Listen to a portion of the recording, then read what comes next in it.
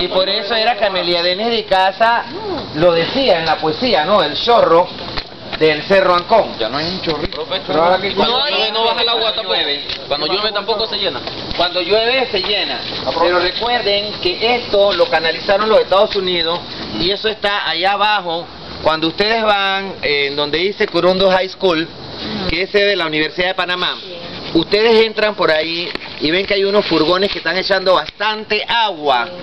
Esa es la canalización del agua de aquí, que se utiliza ya para enfriar los aires acondicionados del edificio, de lo que era el Balboa High School. ¿Y de dónde sale? ¿De qué parte? De ¿Arriba? aquí, de aquí, pero ellos lo canalizaron hacia allá. Allá.